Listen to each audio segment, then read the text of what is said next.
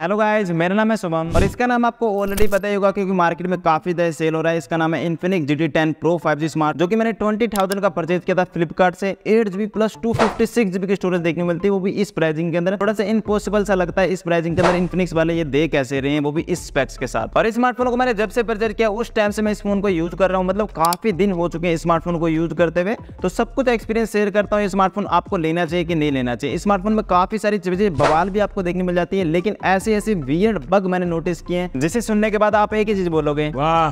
क्या सीन है? जो कि आई थिंक आपको नहीं पता होंगे तो सब कुछ मैं बताता हूँ इस फ़ोन के बारे में। बस वीडियो को बिना स्किप के शुरू से लेकर एंड तक देखना, आपको सब कुछ पता लग जाएगा स्मार्टफ़ोन के बारे में। तो चलिए इस वीडियो को स्टार्ट करते हैं। तो वीडियो को स्टार्ट करने से पहले बता दूँ स्मार्टफ़ोन को पॉइंट टू पॉइंट सब कुछ बात करने से पहले बता दूँ, जो हमारे previous Infinix D ten pro की दो कंपेरिजन वीडियो थी, उस पर काफ़ी ज़्यादा आपने प्यार दिखाया यार। फिफ्टी फिफ्टी थाउज़ेंड प्लस आपने व्यू दिए इसके लिए दिल से धन्यवाद यार काफ़ी लोग बोल रहे थे कि आप काफ़ी अच्छी तरीके से एक्सप्लेन करते हो तो इस वीडियो में भी काफ़ी अच्छी तरीके से एक्सप्लेन करेंगे। बस आपको क्या काम करना है इस वीडियो को भी अच्छा सा प्यार दे देना। अब करते हैं इस वीडियो को स्टार्ट। तो सबसे पहले हम बात करते हैं स्मार्टफ़ोन के डिज़ाइन एंड इसकी बिल्ड क्वालिटी के बारे में। मेरा एक्सपीरियंस कैसा रहा? तो यहाँ पे मैंने परचेज किया पे साइबर ब्लैक कलर एक और कलर देखने मिलता है मिराज सिल्वर कलर अब साइबर ब्लैक कलर चूज़ करने का रीजन ये था कि इस फ़ोन में आपको पता है बैक लाइटिंग इफ़ेक्ट देखने मिलती है। जब भी कोई म्यूज़िक प्ले करते हो या कोई भी कॉल आती है नोटिफिकेशन ब्लिंक करती है। जो कि साइबर ब्लैक पे दिखने में थोड़ा और भी ज़्यादा अच्छा लगता है। सिल्वर पे उतना अच्छा नहीं लगता। अगर हम साइड बाय साइड इसको कंपेयर करें तो। इसलिए यहाँ पे मैंने साइबर ब्लैक कलर यहाँ पे चूज़ किया। वैसे स्मार्टफ़ोन के दोनों ही कलर मस्त देखने मिल जाते हैं, बस लाइटिंग इफ़ेक्ट में ब्लैक कलर मुझे ज़्यादा अच्छा लगता है। बाकी आपने कौन सा कलर परचेज किया वो बताना मुझे कमेंट सेक्शन के अंदर। और एक चीज़ आपको बता दूँ, यहाँ पे बैक में प्योर प्लास्टिक पॉलीकार्बोनेट बैग देखने मिल जाती है। यहाँ पे हाथों के निशान थोड़े बहुत विजिबल होते हैं, उतने ज़्यादा विजिबल नहीं होते अदर ब्रांड से हम कंपेयर करें तो। और फ़ोन की वेट की बात को तो 187 ग्राम का वेट देखने मिलता है तो काफ़ी लाइट वेट आपको स्मार्टफ़ोन देखने मिल जाता है। और साइडों के यहाँ पे फ्रेम आपको ग्लोसी फिनिशिंग के साथ देखने मिल जाते हैं यहाँ पे बहुत ज़्यादा समझ पड़ते हैं स्क्रैचेस वगैरह पड़ जाते हैं। तो जब भी इस फ़ोन को लो तो यहाँ पे साइडों में भी आप लैमिनेशन वगैरह करवा लेना, नहीं तो स्क्रैचेस से भर जाने वाला है एक डेढ़ महीने बाद। और फ़ोन की थिकनेस की बात को तो 8.1 पॉइंट देखने मिल जाता है, और बुक्सी डिज़ाइन आपको देखने मिल जाता है, जो कि ट्रेंड चल रहा है। और 3.5 का ऑडियो जैक देखने मिल जाता है, और इससे ईयरफोन में आप सॉन्ग वगैरह प्ले करोगे तो काफ़ी अच्छी क्वालिटी आपको देखने मिल जाएगी, वहाँ पे आपको कोई दिक्कत नहीं है। और इस फ़ोन के अंदर आपको ड्यूल माइक का सपोर्ट देखने मिल जाता है। आसानी से आप भीड़ भाड़ इलाकों के अंदर भी बात कर सकते हो, वहाँ पे आपको कोई दिक्कत नहीं है साउंड क्वालिटी काफ़ी सही आपको देखने को मिल जाएगी। टाइप सी का पोर्ट देखने को मिल जाएगा। की बात करो तो स्टोरेज स्पीकर का स्पोर्ट आपको देखने को मिल जाता है। जिसकी साउंड क्वालिटी आप सुनिए। तो साउंड क्वालिटी आपको काफ़ी ठीक ठाक देखने मिलती है लाउड देखने मिल जाता है, लेकिन ज़्यादा आपको बेस नहीं देखने मिलता। थोड़ी सी तीखी आवाज़ आपको देखने मिलती है। और कई लोगों का डाउट है कि इसमें डोल भी आइटम उसका स्पोर्ट है कि नहीं तो वो चीज़ आपको नहीं देखने मिलती इस फ़ोन के अंदर। अब इन सब की बात होगी तो एक वियर्ड चीज़ की बात कर लो, जो कि मेरे को बिल्कुल भी अच्छा नहीं लगता। जब इस फ़ोन के अंदर बैटरी लो हो जाती है, एक से दो परसेंट के आसपास तो इस फ़ोन के अंदर एक नोटिफिकेशन आता है कि आपकी फ़ोन की बैटरी लो हो चुकी है और वो नोटिफिकेशन को आप स्वाइप ही नहीं कर सकते, ना ही उसको ओके कर सकते हो। जी हाँ कंट्रोल सेंटर खोल लो सेटिंग में चले जाओ, बस वो नोटिफिकेशन वहीं का वहीं पड़ा रहता है, उसको स्वाइप नहीं कर सकते आप, जो कि मुझे बिल्कुल भी अच्छा नहीं लगता। बाकी ब्रांडों में क्या होता है स्वाइप कर सकते हैं ओके कर सकते हैं, लेकिन इसमें ऐसा नहीं कर सकते, या तो फ़ोन के स्विच ऑफ़ होने का वेट करो, या अपने फ़ोन को चार्ज लगाओ। नेक्स्ट इस फ़ोन के अंदर एक और प्रॉब्लम आपको देखने मिल जाती है। इसको प्रॉब्लम नहीं, इसको बग आप बोल सकते हो, क्योंकि ये बग ना आपको चार दिन में नोटिस हो सकते हैं, कई लोगों को दस दिन यूज़ करने के बाद ये बग नोटिस हो सकता है। मतलब हमेशा के लिए ये प्रॉब्लम आपको फेस नहीं होगी कभी कभी ये फेस करने को आपको देखने को मिले। तो यहाँ पे आप क्लिप में आप देख सकते हैं कि मेरे फ़ोन के अंदर दो परसेंट बैटरी है और जैसे इस फ़ोन को चार्ज लगाता हूँ तो ये दिखा रहा है चौदह से पंद्रह परसेंट के आसपास मेरे फ़ोन के अंदर बैटरी चार्ज हो चुकी है और लोग स्क्रीन पे बॉटम साइड में भी देखता हूँ ना तो वहाँ पे भी मेरे फ़ोन के अंदर चौदह से पंद्रह बैटरी दिखा रहा है। लेकिन स्टेटस बार में दिखा रहा है, भाई, दो है। ये कौन से नशे हैं भाई? बट इस प्रॉब्लम को आप फिक्स भी कर सकते हो। जब भी ये प्रॉब्लम हो तो फ़ोन को आपको स्विच ऑफ़ करके ऑन करना और ये प्रॉब्लम आपकी फिक्स हो जाएगी। लेकिन पाँच छः दिन बाद वापस ये प्रॉब्लम आपको फेस ज़रूर होगी मतलब हमेशा नहीं होगी, लेकिन चार पाँच दिन बाद ये प्रॉब्लम आपको फेस हो सकती है। और इस प्रॉब्लम को प्रूव करने के लिए मैंने इसका स्क्रीन रिकॉर्डिंग भी कर रखा है, जिसका डाउनलोड लिंक मैंने आपको गूगल ड्राइव पे दे दिया लेकिन इस वीडियो को देखने के बाद उसको डाउनलोड करके देखना, क्योंकि इस फ़ोन के अंदर अभी कुछ और भी प्रॉब्लम देखने मिलती है। वो वीडियो के अंदर बताता हूँ, लेकिन कुछ अच्छी चीज़ों को बात कर लेते हैं और मुझे पता है स्मार्टफ़ोन की बैटरी बैकअप भी आप जानना चाहते हो, लेकिन उससे पहले स्मार्टफ़ोन की डिस्प्ले एक्सपीरियंस की बात कर लो तो six point six seven inch की एक full H D AMOLED display देखने को मिल जाती है। इसके अंदर आप कोई भी कंटेंट वॉच करो मूवी वॉच करो आपका एक्सपीरियंस नेक्स्ट लेवल रहने वाला है। कॉन्ट्रास्ट सेचुरेशन काफ़ी सही देखने को मिलते हैं पंची कलर आपको देखने मिल जाते हैं और काफ़ी समय भी इस डिस्प्ले पे आप स्पेंड करोगे ना तो ऐसा आपको महसूस नहीं होगा कि आँखों में इसकी डिस्प्ले चुभ रही है। तो डिस्प्ले कलर काफ़ी आपको सही देखने को मिल जाता है और इसके बेजल्स भी काफ़ी कम आपको देखने मिल जाते हैं और पंच होल जो देखने मिल जाता है, जो कि दिखने में थोड़ा अच्छा लगता है। और स्मार्टफ़ोन के अंदर यूट्यूब पे आप फोर के अंदर कंटेंट भी वॉच कर सकते हो और फोर के एच में भी आप कंटेंट वॉच कर सकते हो। और कमाल की बात है कि HDR में मुझे कोई भी लैग एंड जिटर नहीं देखने को मिला। But H content only for YouTube पर ही वॉच कर सकते हो, लेकिन नेटफ्लिक्स अमेजोन प्राइम पे आप वॉच नहीं कर सकते। वैसे इस फ़ोन के अंदर वाइड वन एलेवन का स्पोर्ट ज़रूर से देखने को मिल जाता है। नेटफ्लिक्स अमेजोन प्राइम आप फुल एच के अंदर स्ट्रीम कर सकते हो। और इस फ़ोन में आपको पता है वन ट्वेंटी का रिफ्रेश रेट भी आपको देखने को मिल जाता है, जो कि काफ़ी स्मूथली तरीके से वर्क करता है, लेकिन अपने मूड के अकॉर्डिंग वर्क करता है। मेरे क्लिप में आप देख सकते हो वन ट्वेंटी पे मैंने सेट किया हुआ डिस्प्ले को, लेकिन चल रहा है सिक्सटी पे भी। और किसी भी ऐप को ओपन भी करूँगा ना तो वहाँ पे भी सिक्सटी पे स्टक हो चुका है, जी हाँ। तो अपने मूड के अकॉर्डिंग वर्क करता है। और जैसे कि पता है स्मार्टफ़ोन को जब मैंने लिया था 24 घंटे वाले स्मार्टफ़ोन का रिव्यू बनाया था, उस वीडियो में मैंने बोला था कि ये काफ़ी स्मूथली तरीके से वर्क कर रहा है, सभी ऐप पे वर्क कर रहा है। लेकिन लॉन्ग टाइम तक मैंने इसको यूज़ किया, तब मुझे ये पता लगा, अपने मूड के अकॉर्डिंग वर्क करता है, इसका मूड होगा तो वन ट्वेंटी पे सभी पे वर्क करेगा। अगर मूड नहीं होगा तो सिक्सटी से ऊपर भी नहीं जाएगा ये। बट एक चीज़ काफ़ी परफेक्टली तरीके से वर्क करती है, इस फ़ोन में पता है इन डिस्प्ले फिंगरप्रिंट देखने मिल जाता है, जो कि एक टच करो इंस्टेंट ये अनलॉक हो जाता है तो काफ़ी फास्ट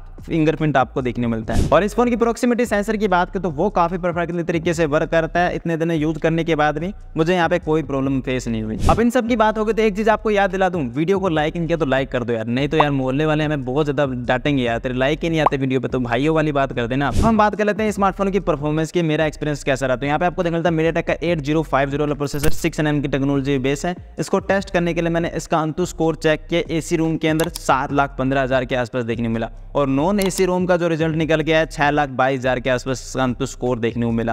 तो एसी रूम में ज़्यादा बेटर परफॉर्म करता है ये फ़ोन और इसके मल्टी टच की बात करो तो टेन की टेन उंगलियों को सपोर्ट करता है। गेमिंग के दौरान आपको कोई दिक्कत नहीं होने वाली। मल्टी टच को लेकर, लेकिन दिक्कत कहाँ होने वाली है? इसको हीटिंग को लेकर। तो सबसे पहले ये स्क्रीन आप देख सकते हैं सीपी टोटल का जो रिज़ल्ट है fifty eight percent max performance देखने को मिले। ये नॉन एसी रूम के अंदर मैंने टेस्ट किया यहाँ पर रेड पार्टिकल आप देख सकते हैं, बहुत ज़्यादा देखने मिलते हैं। तो फ़ोन ज़्यादा हीट होता है, आप ज़्यादा देर तक इसको यूज़ करते हो तो डेफिनेट और दूसरा स्क्रीन आप देख सकते हैं, ये मैंने एसी रूम के अंदर टेस्ट किया seventy six percent max performance देखने को मिले। तो यहाँ पे रेड पार्टिकल मुझे नहीं देखने मिले, यहाँ पे काफ़ी अच्छे तरीके से परफॉर्म करता है। अब हीटिंग की बात होगी तो रेगुलर तौर पर परफॉर्म कैसे करता है? किसी भी ऐप को ओपन करोगे क्लोज करोगे, वहाँ पे कोई लैग एंड नहीं देखने मिलेगा, अटकेगा नहीं फ़ोन आपका। जी हाँ रैम मैनेजमेंट भी काफ़ी सही है, किसी भी एप्लीकेशन को ओपन करोगे, एक दो घंटे बाद भी वहीं से ओपन कर देता है, बोलता नहीं है और इस फ़ोन की हैवी गेमिंग की बात करो, जैसे Call of Duty Free Fire इनको ये आराम से हैंडल कर लेता है, कुछ समझता नहीं है। लेकिन बीजेमआई ग्राफिक सेटिंग की बात करो तो यहाँ पे स्मूथ प्लस नाइनटी एफ़ का सपोर्ट आपको देखने मिल जाता है। एक डेढ़ घंटे गेमिंग करने हैं तो वहाँ पे आपको ज़्यादा लैग जनरेटर नहीं देखने को मिलेंगे। और जैरो में इस फ़ोन के अंदर गेमिंग करना चाहते तो वहाँ पे भी आपको कोई डिले नहीं देखने को मिलता। और इस फ़ोन की वीडियो एडिटिंग की बात करो तो यहाँ पे मैंने काइन मैसेज में चेक किया तो फोर के अंदर आप यहाँ पे वीडियो को एडिटिंग कर सकते हो। और एक चीज़ आप कर सकते हो, वीडियो को लाइक नहीं किया तो लाइक कर सकते हो। तो परफॉर्मेंस की बात होगी तो स्मार्टफ़ोन की बैटरी बैकअप की बात कर लेते हैं। तो इस फ़ोन में आपको पता पाँच हज़ार एमएच की बड़ी बैटरी देखने को मिल जाती है। तो काफ़ी लोगों का यहाँ पॉइंट है कि बड़े बड़े बैटरी ड्रेन करता है कि नहीं करता मतलब ओवर नाइट बैटरी ड्रेन वाले प्रॉब्लम है कि नहीं। तो सबसे पहले स्क्रीन देख सकते हैं। दस बज के तेरह मिनट पर स्क्रीन लिया गया। इसमें मेरे फ़ोन के अंदर ट्वेंटी परसेंट बैटरी है और ये दूसरा स्क्रीन शॉट देख सकते हैं। सुबह के आसपास ले गए पाँच बज के तैतीस मिनट के आसपास। तो यहाँ पे मेरे फ़ोन के अंदर अठारह परसेंट बैटरी है। तो दो परसेंट बैटरी डिक्रीज हुई है तो ओवर नाइट बैटरी वाली प्रॉब्लम आपको नहीं देखने को मिलती। तो बड़े बड़े फ़ोन की बैटरी रेन तो नहीं करता, लेकिन इसका बैटरी बैकअप वैसे कैसे देखने को मिलता? है अगर मैं बता दूँ, अगर आपका वर्क ट्रैवलिंग का ज़्यादा है, अगर आप यहाँ पे डिलीवरी बॉय वाला काम करते हो तो इस फ़ोन को थोड़ा सा इग्नोर करना आपको बैटरी बैकअप बिल्कुल भी अच्छा नहीं देखने को मिलेगा इस फ़ोन को। क्योंकि लोकेशन चेंज होगी, इसकी बैटरी कंज्यूम बहुत ज़्यादा बढ़ जाएगा और बैटरी बैकअप बहुत ज़्यादा बेकार आपको देखने को मिलेगा। लेकिन हो सकता है आपको कोई भी ट्रैवलिंग वर्क या आप डिलीवरी बॉय वाला वर्क नहीं करते हो तो यहाँ पे इसकी ऑन स्क्रीन टाइम की बात करो छः घंटे के आसपास आपका इसका ऑन स्क्रीन टाइम आपको देखने को मिल जाएगा।